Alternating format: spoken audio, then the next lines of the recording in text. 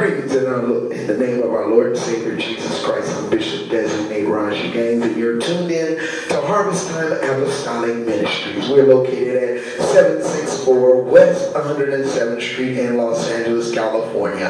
Our phone number is 323-449-9857. If you have not repented of your sins, if you have not gone down in the watery grave in the name of Jesus, if you have not received the gift of the Holy Ghost, is there a question your mind where you would spend eternity should you not wake up. Amen. You need to give me a call. Let's have a conversation.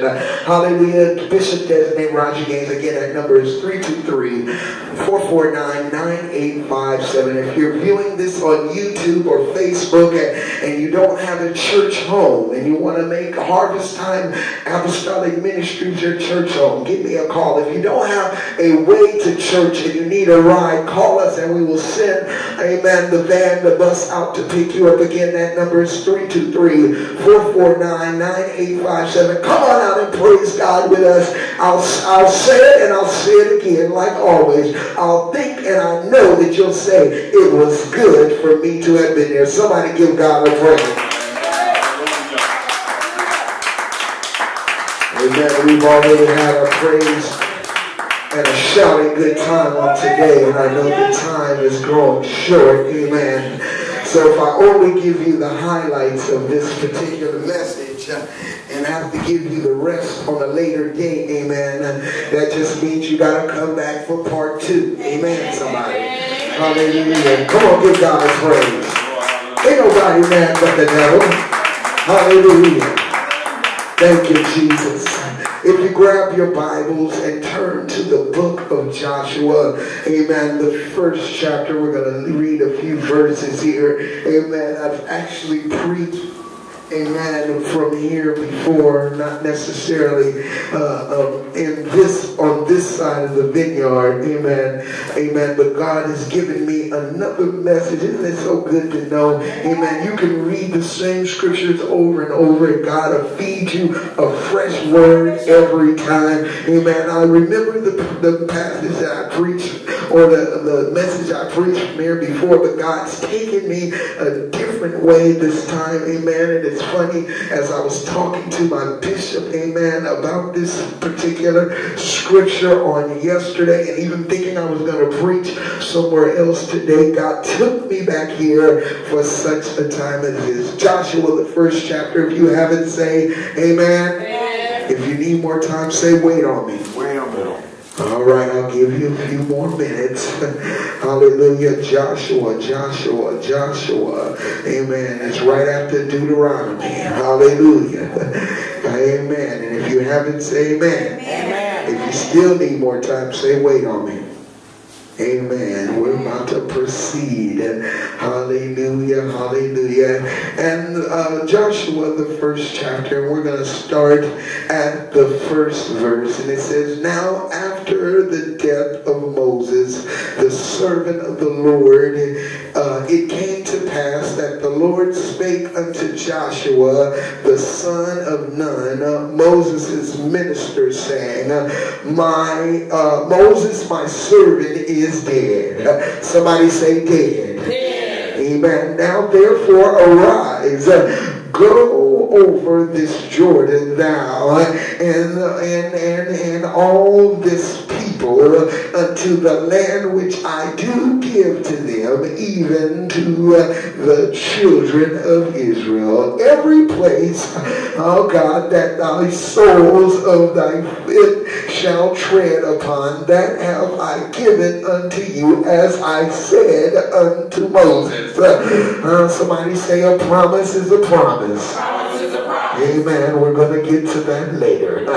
Hallelujah. From uh, the wilderness of this Lebanon, even unto the great river, the river Euphrates, uh, all the land of the Hittites, and unto the great sea towards the going uh, down of the sun shall be your coast.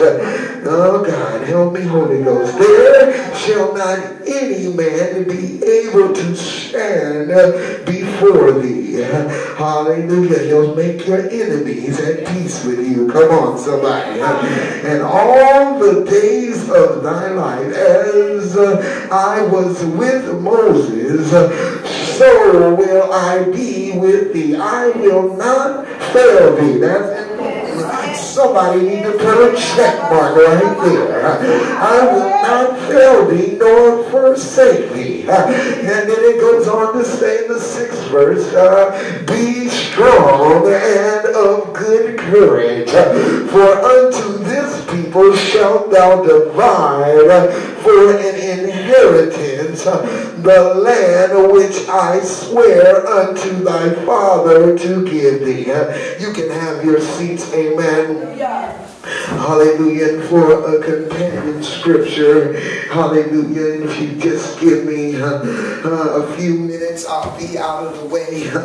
hallelujah. And uh, in the book of Luke, hallelujah, book of Luke.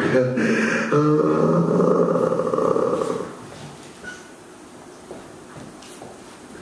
the book of Luke. Wait a minute, we're going to have to go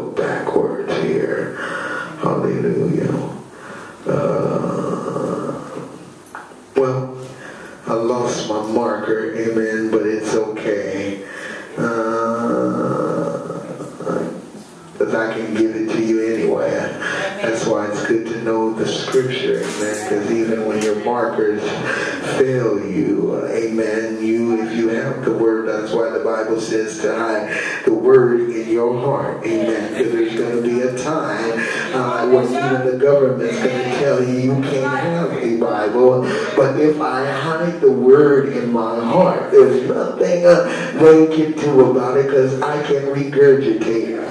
But it's found, the story is found in Matthew and also in Luke where, amen, the man, where Jesus told them to follow him. And one man came to Jesus and said, Lord, uh, I want to follow you, but uh, uh, uh, give me the opportunity or I beg you, give me the space and time to go back and bury my father or bury my loved one. And then I will follow you to the ends of the earth. And Jesus responded to him, let the dead bury the dead. Uh, it's time that you come with me and preach uh, uh, the kingdom of heaven.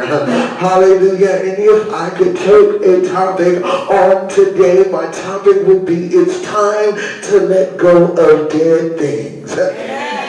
Hallelujah, somebody. It's time to let go of dead things. Uh, and my subtopic is on today. Uh, the, my inheritance uh, is waiting on me. My inheritance is waiting on me. And to sum it all up, the theme on today is it's time for my, uh, my lifestyle to live up to my praise. It's time for my lifestyle to live up to my praise. What do you mean, preacher? Uh, because with your mouth, the Bible even talks about flattering words. Uh, and you know how we do it. And someone comes to you and says, uh, Elder Daniels, how are you today? Uh, oh, I'm blessed